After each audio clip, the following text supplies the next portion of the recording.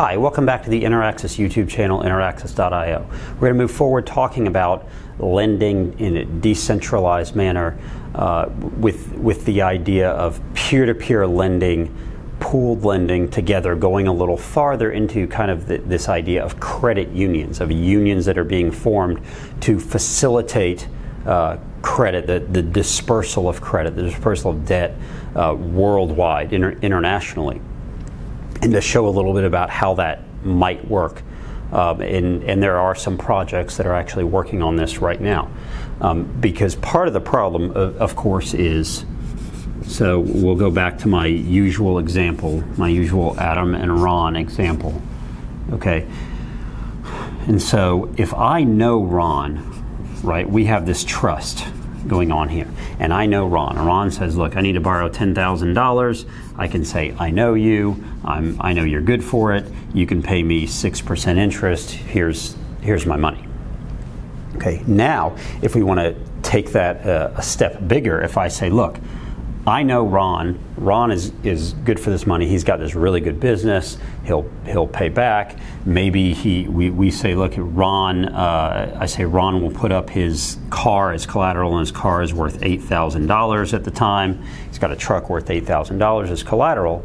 Now, I might not want to lend Ron the full ten thousand. I might go out and say, look, to, to five different to, to four different people, I'll say, look, I'll put in two thousand dollars. If each one of you puts in two thousand dollars, right, we'll have our ten thousand dollars.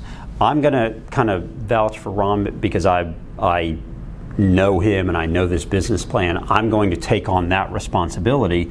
We can split this uh, interest that, that comes in. We're going to use his truck as, as collateral. Well, these four people might go, yeah, we're in for that. We'll we'll get you know five percent here. You get the the you get your you know five percent plus our extra one percent, and that one percent is my fee for being the one who who does the underwriting. Now I might also say, look, I will take the risk that if Ron doesn't pay and we have to take his truck and go sell it for eight thousand dollars, I'll distribute that you know most of that to you guys, and I'll kind of take a hit.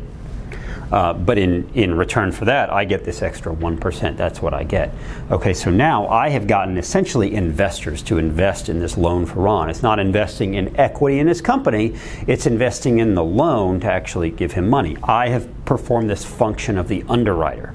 I've said, I, I trust him. Now, the questions are how does this scale, right? Because I might know Ron, we might have this trusting relationship. Maybe we don't know each other that well, but maybe now I have this this business, right? That I say, look, I I lend money to people like Ron. I know what Ron's doing. Ron is, is in the, the delivery business, and I know that um, he's really good at this, and, and I've seen businesses like his, and this is what I do. And I'm going to lend him $10,000. And if other people come into my office and need money, I will lend them, you know, 5,000, 10,000. And here are my requirements. You have to be in this particular industry. You have to have been in business for three years. You have to have a certain credit uh, credit score. Um, you have to be making a certain amount of money for, for that time.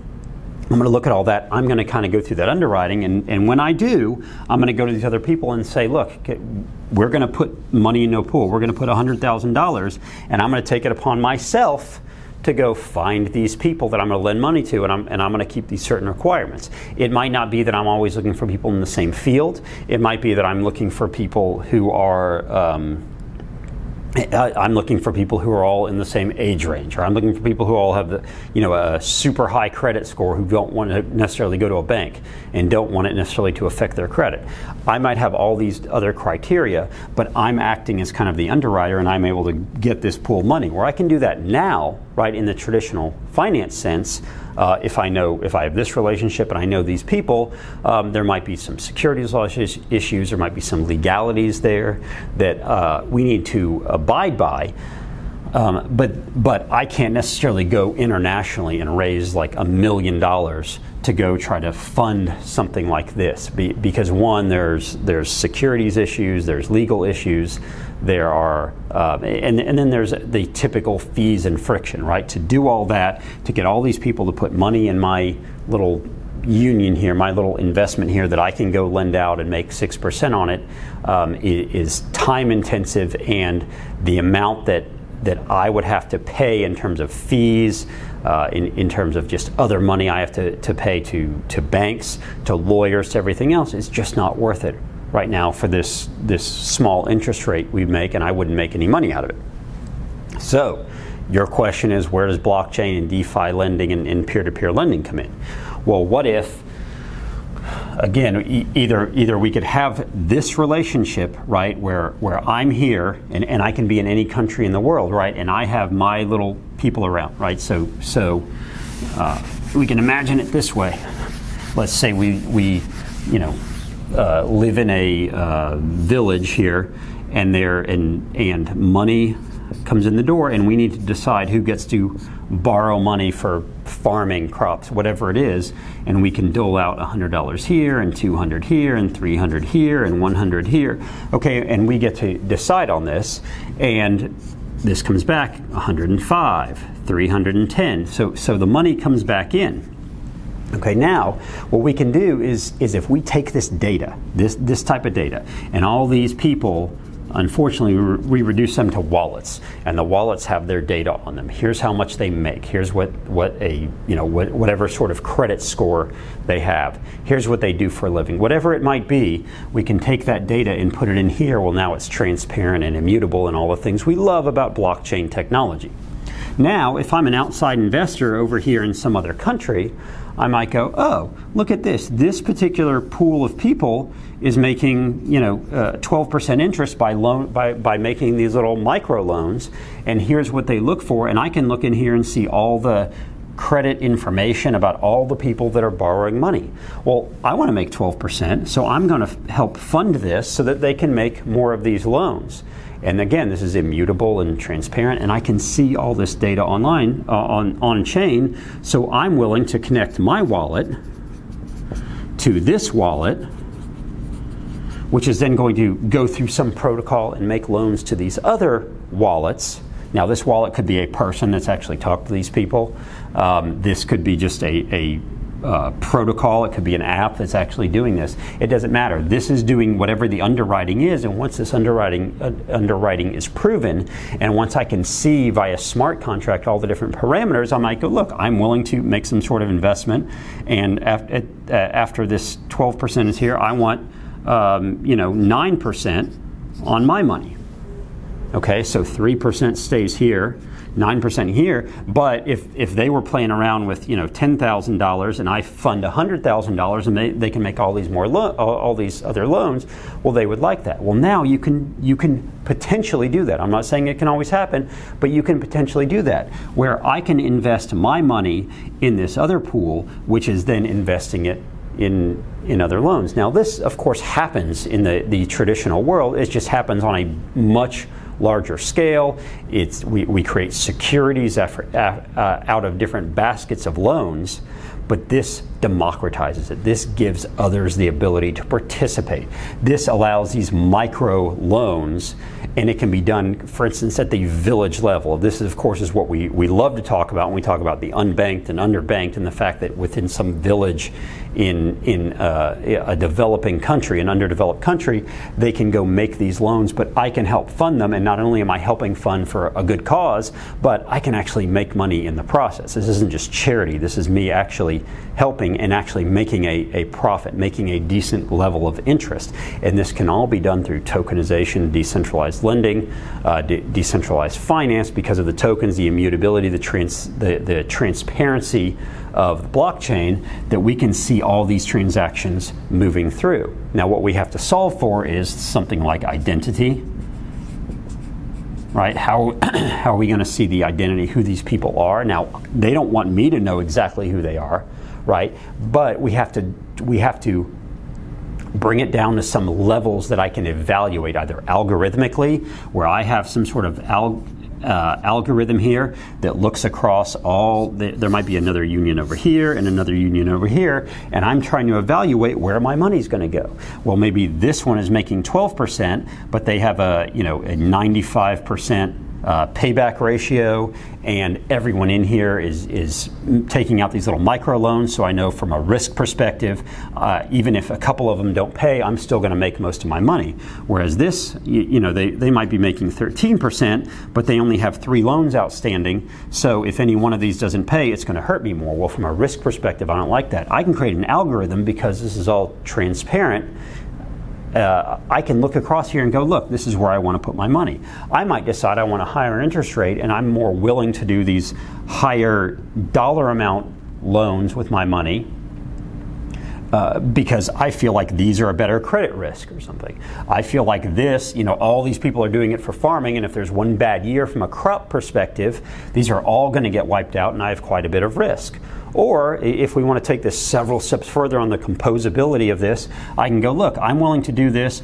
I know my risk is uh, if, uh, you know a storm comes along and wipes out everyone's crops, or a flood, or or or drought, or something. So not only am I going to invest here, but then I'm also going to invest in some sort of decentralized insurance product that takes care of all this. Well, now we can do that because because we have access to all this data as well. So coming in here also, we're going to have to have data feeds right? Data on on uh, the on on crops, on weather. We're going to have to have micro data feeds. Another blockchain feature, right? Which is going to feed this. It's also going to inform this insurance. This is getting really exciting, in case you couldn't tell, which is why I have to draw it on a board and not just talk about it in a in a podcast or something, because it's, it's too much for that.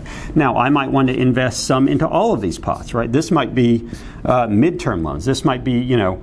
15 uh, day factoring or something like that right? Now I can potentially invest in all these, and all these either they're people, either they're unions. This, these are different underwriters that underwrite for different purposes. Now all these different underwriters can start their own businesses because they can say, look, I'm going to be really good at underwriting this tiny particular type of loan, but because I'm so good at it, now I, I can I can really uh, specialize in it. And I might find people that are in my town. I might find people that are worldwide. And I say, look, you just have to connect your wallet. You have to have this certain credit information, and I will loan you money. And this underwriter gets so good at it that I that you know myself and other investors are willing to keep giving them money because they're really good at this at, at the underwriting that they that they take and it's all transparent, immutable, everything else we like about it. We can have these micro payments. So you see, we're taking peer to peer lending once we kind of solve for things like identity, kind of solve for things like credit on chain,